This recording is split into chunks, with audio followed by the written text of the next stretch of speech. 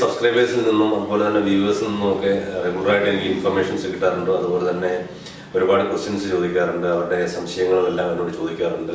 കമന്റായിട്ട് തരാറുണ്ട്.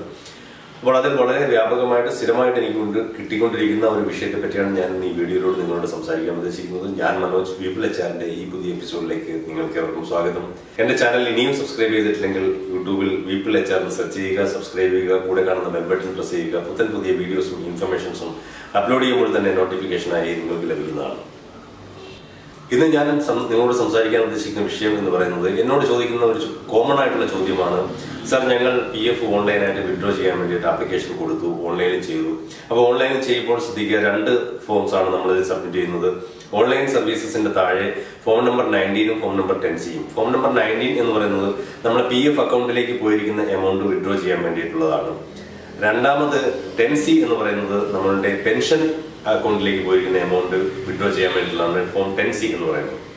അപ്പോൾ എനിക്ക് കിട്ടിയിരിക്കാൻ പരാതി അല്ലെങ്കിൽ എനിക്ക് കിട്ടുന്ന ഡൗട്ട് എന്ന് പറയുന്നത് സാർ ഞങ്ങളുടെ ഫോം നമ്പർ നയന്റീൻ അപ്രൂവ് ആയി ആ എമൗണ്ട് അക്കൗണ്ടിലേക്ക് വന്നിട്ടുണ്ട്. പക്ഷേ ഫോം നമ്പർ ടെൻ സി അത് ഇതുവരെ അപ്രൂവ് ആയിട്ടില്ല അത് റിജക്റ്റഡ് ആയിട്ടാണ് കാണുന്നത്. എന്താണ് കാരണമെന്ന് അപ്പോൾ അതിന്റെ കാരണത്തിലേക്ക് പോകുന്നതിന് മുന്നേ ഞാൻ പറയാം ഇതിന്റെ ഇപ്പോൾ പി എഫ് ഓഫീസിൽ നിന്ന് അതായത് ഒരു രണ്ട് മൂന്ന് മാസങ്ങൾക്ക് മുന്നേ പി എഫ് ഓഫീസിൽ നിന്ന് എനിക്ക് അറിയാൻ കഴിഞ്ഞതെന്ന് പറഞ്ഞു കഴിഞ്ഞാൽ നമ്മുടെ ഇ പി എസിലേക്ക് പോയിരിക്കുന്ന എമൗണ്ട് റിജക്റ്റ് ആയിട്ടുള്ള അതായത് ഇ പി എഫ് എമൗണ്ട് കിട്ടിയിട്ടുണ്ട്. ഇ പി എസ് എമൗണ്ട് കിട്ടിയിട്ടില്ല റിജക്റ്റ് ആയിട്ടുള്ള കേസുകൾ മിക്കവാറും ഉള്ളവരും രണ്ടായിരത്തി പതിനാറ് ഏപ്രിലിന് ശേഷം ജോയിൻ ചെയ്തവരായിരിക്കും എന്നതിൽ യാതൊരു സംശയമില്ല അതിന്റെ കാരണം എന്ന് പറയുന്നത് ഒരു പ്രത്യേക പദ്ധതി നേരത്തെ E P F O introduce ചെയ്തിരുന്നു. അതിന്റെ പേരാണ് P M R P Y എന്ന് പറയുന്നത്. അതായത് ഇതിലിപ്പോൾ പി എഫ് മെമ്പർ ആവുന്ന നമുക്കിത് P M R P Y ആണോ? P M R P Y അല്ലോ എന്നും നമുക്കറിയില്ല. നമ്മുടെ എമൗണ്ട് പന്ത്രണ്ട് ശതമാനം പി എഫിലേക്ക് പോകുന്നു. പന്ത്രണ്ട് ശതമാനം എംപ്ലോയർ ഇടുന്നതിന് eight point three three percentage പെൻഷനിലേക്ക് പോകുന്നു. അതുപോലെ three point six seven percentage നമ്മുടെ പി എഫ്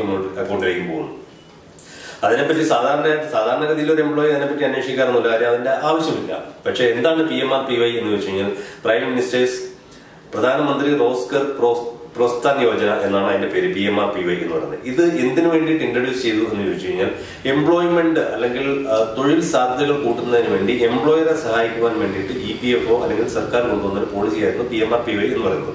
എന്താണ് P M R P Y എന്ന് ചോദിച്ചു കഴിഞ്ഞാൽ നമുക്കറിയാം പന്ത്രണ്ട് ശതമാനം നമ്മുടെ സാലറിയിൽ നിന്ന് പിടിക്കും പി എഫിലേക്ക് അതുപോലെ തന്നെ പന്ത്രണ്ട് ശതമാനം എംപ്ലോയറുടെ കോൺട്രിബ്യൂഷൻ ആയിട്ട് പിടിക്കും. ഈ എംപ്ലോയറുടെ കോൺട്രിബ്യൂഷൻ ആയിട്ട് പിടിക്കുന്ന പന്ത്രണ്ട് ശതമാനം എമൗണ്ട് എന്ന് പറയുന്നത് അതിലെ എട്ട് പോയിന്റ് മൂന്ന് മൂന്ന് ശതമാനം എമൗണ്ട് പോകുന്നത് പെൻഷൻ ഫണ്ടിലേക്കാണ് മൂന്ന് പോയിന്റ് ആറ് ഏഴ് ശതമാനം അല്ലാതെ three point six seven percentage മാത്രമേ നമ്മുടെ പി എഫ് അക്കൗണ്ടിലേക്ക് വരുന്നുള്ളൂ.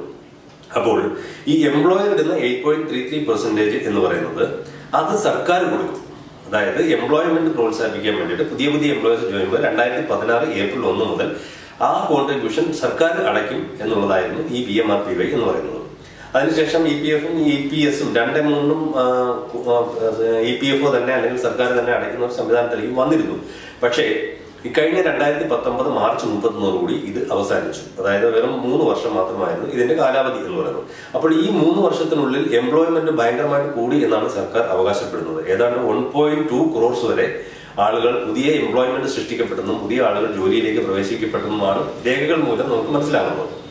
പക്ഷേ ഇതിന്റെ പ്രശ്നം എന്ന് പറഞ്ഞു കഴിഞ്ഞാൽ ഈ രണ്ടായിരത്തി പത്തൊമ്പത് മാർച്ച് മുപ്പത്തൊന്ന് വരെ അതിനകത്ത് പി എം ആർ പി ഒയിലേക്ക് സർക്കാർ അടച്ചേക്കുന്ന പൈസ പോയിട്ട് അതിൽ നിന്ന് റിസൈൻ ചെയ്തിട്ടില്ല ആ സമയത്ത് ജോലി കിട്ടിയിട്ടുള്ള ആളുകൾ റിസൈൻ ചെയ്തതിനു ശേഷം ഈ എമൗണ്ട് വിഡ്രോ ചെയ്യാൻ ചെയ്യുന്നപ്പോൾ സർക്കാർ പറയുന്ന അല്ലെങ്കിൽ ഇ പി എഫ് ഒ പറയുന്നത് എന്താണെന്ന് വെച്ച് കഴിഞ്ഞാൽ ഈ പി എം ആർ പി വൈയുടെ അണ്ടറിൽ അടച്ചിരിക്കുന്ന പൈസ നമുക്ക് പെൻഷൻ ആവുമ്പോൾ മാത്രമേ ആ പെൻഷനിലേക്ക് പോയിരിക്കുന്ന എമൗണ്ട് നമ്മൾ പെൻഷൻ ഏജ് അറ്റൈൻ ചെയ്യുമ്പോൾ അതായത് അമ്പത്തിയെട്ട് വയസ്സ് എന്ന് പറയുന്ന പെൻഷൻ ഏജ് അറ്റൈൻ ചെയ്യുമ്പോൾ മാത്രമേ നമുക്ക് ആ എമൗണ്ട് വിഡ്രോ ചെയ്യാൻ പറ്റൂ എന്നാണ് ഇപ്പോൾ അവർ പറയുന്നത്.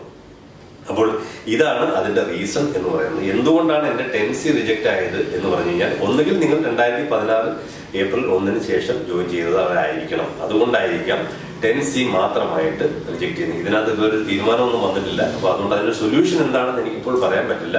ഇങ്ങനെ വ്യാപകമായിട്ട് ഒരു ഡൗട്ട് വരുന്നത് കൊണ്ട് നിങ്ങളെ ഒന്ന് ഈ ഒരു സംഭവം ഒന്ന് അറിയിക്കാൻ വേണ്ടിയിട്ടാണ് ഞാൻ ഈ വീഡിയോയുമായിട്ട് നിങ്ങളുടെ മുന്നിലേക്ക് വന്നത്. അപ്പോൾ ഈ വീഡിയോ നിങ്ങൾക്ക് ഇഷ്ടമായി എന്ന് വിചാരിക്കുന്നു. ഈ ഇൻഫർമേഷൻ ശരിക്കും പറഞ്ഞു കഴിഞ്ഞാൽ ഇതൊരു ചതിവാണ്. ചതിവ് എന്ന് പറഞ്ഞു കഴിഞ്ഞാൽ നമ്മളറിയുന്നില്ല. നമുക്കറിയില്ലല്ലോ. P M R P Y ആണോ? അതോ വേറെ ഏതെങ്കിലും സ്കീമാണോ നമുക്ക് ന്യായമായിട്ടും സർക്കാരിന്റെ പോളിസി അനുസരിച്ച് അല്ലെങ്കിൽ ഇ പി എഫ് പോളിസി അനുസരിച്ച് പന്ത്രണ്ട് ശതമാനം നമ്മുടെ സാലറിയിൽ നിന്ന് പിടിക്കും. പന്ത്രണ്ട് ശതമാനം എംപ്ലോയർ ഇടണം. അതിൽ എയ്റ്റ് പോയിന്റ് ത്രീ ത്രീ നമ്മുടെ പെൻഷനിലേക്ക് പോകും. ത്രീ പോയിന്റ് സിക്സ് സെവൻ നമുക്ക് നമ്മുടെ പി എഫ് അക്കൗണ്ടിലേക്ക് വരും.